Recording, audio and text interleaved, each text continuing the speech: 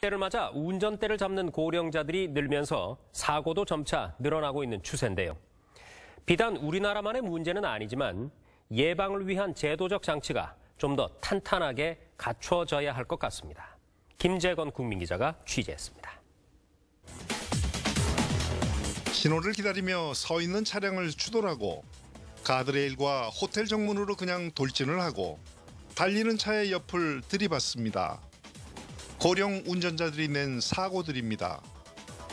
시력과 반응 속도가 떨어지는 것이 이런 고령자 교통사고의 한 원인입니다.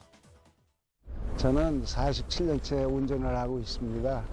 아무래도 나이가 먹다 보니까 아, 인지력도 떨어지고 동작도 둔해지는 것 같고 그래갖고 내 나, 나름대로 조심스럽게 천천히 운전하고 있습니다.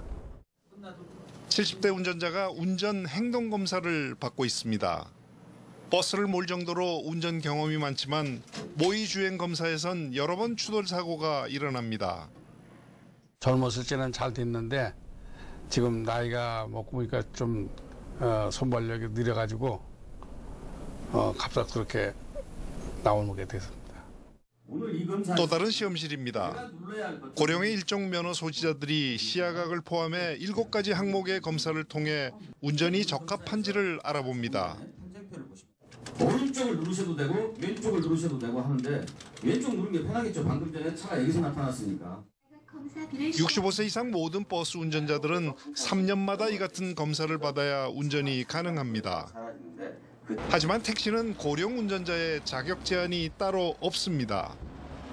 65세 이상 택시 운전자는 6만 명 가량으로서 전체의 20%에 달하지만 별도의 자격 유지 검사 없이 운전을 할 수 있습니다.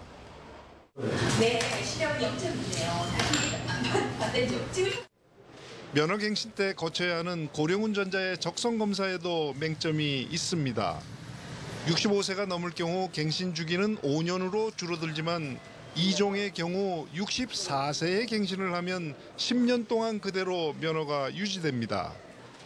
면허는 10년마다 갱신을 하셔야 되는데 65세가 되면 5년 주기로 줄어듭니다. 어, 일종은 이종이 없는 적성 검사를 하지만 70세가 되면 누구나 다 받으셔야 됩니다.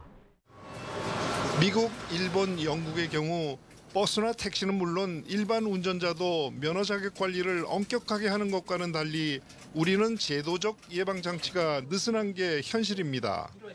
고령 운전자들은 신체라든가 인지 능력이 떨어졌음에도 불구하고 이를 인정하지 않는 경향이 강합니다.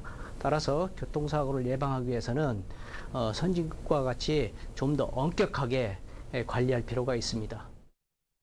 65세 이상 인구 700만 명 고령화 시대 고령 운전자의 이동권도 보장하면서 교통사고도 예방할 수 있는 적절한 대책이 필요해 보입니다. 국민리포트 김재건입니다. 요즘에